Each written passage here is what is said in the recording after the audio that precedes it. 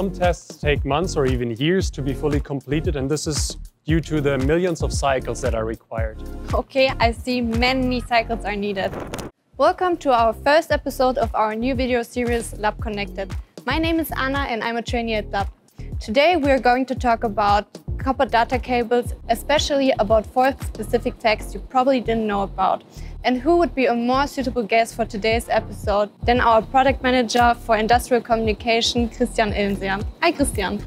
Hey, Ana. I'm excited to be here. Christian, tell us what can we expect of today's episode?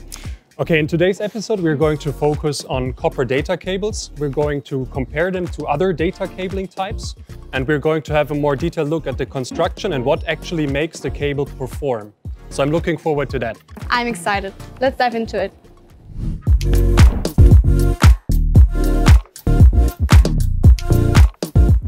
So we have a copper data cable and a fiber optic cable in front of us. Christian, please tell us which cable is better and for what purpose? Are there any myths you can resolve? Well, first of all, both cable types bring their own advantages to the table. On the one hand, we have a fiber optics data cable, which uses light in a nearly transparent medium to transfer signals over several kilometers. At the same time, it allows us to reach very high data rates of, for example, 40 gigabit per second. However, fiber optics cables are quite complex to install and maintain, and they oftentimes require special equipment, which adds to the overall costs. On the other hand, we have copper data cables, such as Ethernet or LAN cables, and these data cables are more limited when it comes to their transmission distance and also the data rates that they can achieve. And this is due to the electrical signal being strongly attenuated when it travels throughout the cable. In industrial applications, however, we do not always need extreme data rates and also not always need to cover long distances, which is why copper data cables are the preferred solution in many industrial applications. Another big benefit is that Um, copper data cables allow us to power smaller network components such as IP cameras or access points, which is another big advantage. So overall, I would say you cannot really say which cable type is better or worse. Both have their field of application in which they shine in. So Christian, you already mentioned Ethernet cables, and I know there are different categories, such as category 5, 6 and 7. I see you brought us some of these cables here. Can you tell us what are the differences between them? Sure. Um, Categories are generally used to sort passive network components, such as cables and connectors, according to their overall electrical performance. A Cat5 cable may be used for data transmission rates of up to 100 megabit, for example, while a Cat7 cable may be used for data transmission rates of up to 10 gigabit per second, which may be necessary for high-resolution camera systems in industrial applications, for example. And in general, there are over 20 different parameters that define these categories and that the cables need to comply with. And they are strictly relying on the cable's overall construction and they are also defined in standards. Thank you, Christian. Now the categories are much clearer to me. And now let's move on with the third fact.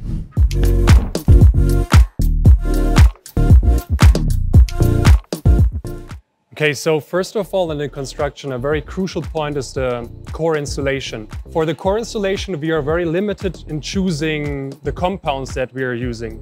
So here we cannot just use any compound, but we are limited to only the best insulating compounds that are available.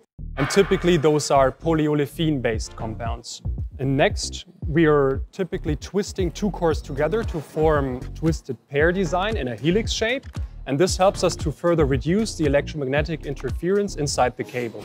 Speaking of electromagnetic interference, how do we protect our copper data cables from interference? Okay, so that's a very good point. Um, you always have to be aware that when you're deciding for copper cables, there is a risk of electromagnetic interference involved. However, considering some very basic steps, you can reduce it to a minimum.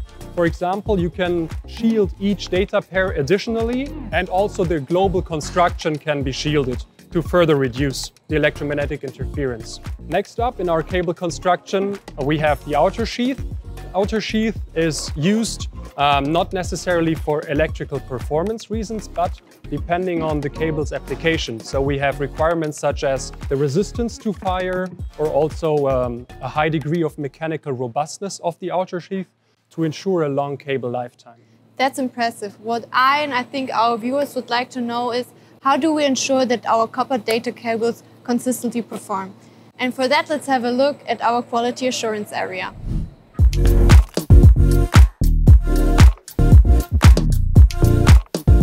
Let's have a look at how the testing is actually done in our laboratory. For mechanical testing, we are testing the cables in horizontal movements, such as we find in cable drag chains, where the cables are tested for millions of cycles for certain travel distances, uh, which we can see right now in the footage. Or we can also see torsional movement of the cable, so alongside the cable axis, which is typical, for example, for robotic applications.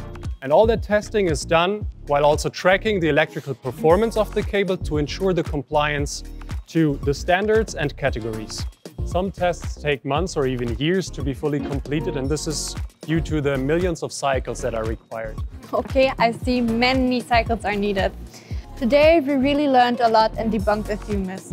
A huge thank you to you, Christian, for being our expert of today's episode. For sure, the pleasure is on my side. Thank you very much. If you enjoyed this format, feel free to subscribe to our YouTube channel. We'd love to hear your opinions and input on this episode or on topics you would like us to cover, so leave us a comment. You can already look forward to the next episode. See you then. Bye-bye. Bye.